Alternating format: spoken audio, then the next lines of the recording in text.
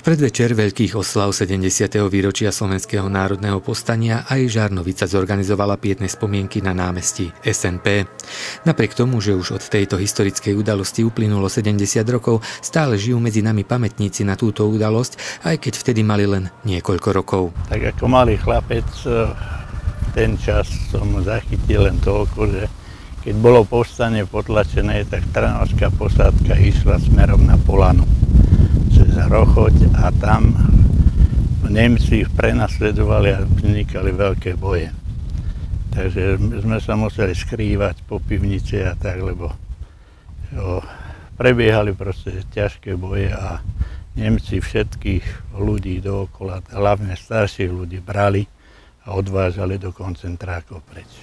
Vo štvrtok krátkou reláciou v Mestskom rozhlase a následným položením vencov pri miestnom pamätníku si prítomní pripomenuli obete a hlavne miestnych mladých ľudí, ktorí padli v Slovenskom národnom postaní. Vence k pamätníku položili nielen vrcholoví predstavitelia mesta za účasti poslankyne Národnej rady Viery Šedivcovej, ale aj miestne organizácie Matice Slovenskej, Komunistickej strany Slovenska, ale aj Zväzu protifašistických bojovníkov. 70. výročie je výročie Slovenského národného povstania.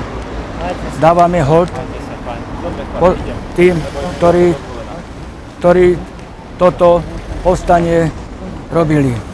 Patrí im, patrí im srdečná vďaka.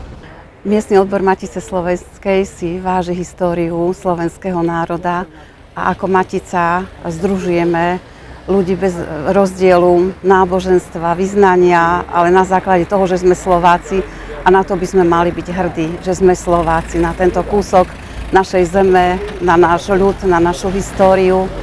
Takže aj my sme si dnes prišli uctiť pamiatku tých, ktorí padli v Slovenskom národnom povstaní a ešte sa zúčastníme aj vatry, ktorá sa bude konať o 4. hodine podvečerných hodinách oslavy tradične vrcholili na skalke zapálením vatry. Tento rok bol pre prítomných pripravený bohatší program ako po minulé roky. A zorganizovali sme okrem klasickej súťaži púšťanie šarkanov, aj vystúpenie kinológov a také športové z bordel koliov, to je moderné teraz, aby sa potešili aj malé detičky a k tomu som sa snažila im aj povedať, prečo sme vlastne tu, kde tí naši rodičia bojovali, ako to vyzeralo, koľkí zahynuli, že boli priamo zo Žarnovice, aby si to každý tak trošku zobral aj k sebe, že to nie je také anonymné, že vojaci bojovali, ale proste uctiť si pamiatku a hlavne si vážiť to, že máme mier. Vo štvrtok sa na skalke zišlo skoro 140 ľudí, ktorí sa určite nenudili. Okrem bohatého programu bolo pre prítomných a súťažiacich pripravené malé občerstvenie. Na piatok sú pre záujemcov zase pripravené dva bezplatné autobusy, ktoré vychádzajú z Kľaku a z Hronského Beňadika a cestou budú zbierať všetkých, ktorí sa chcú osobne zúčastniť oficiálnych oslav konaných v Banskej Bystrici.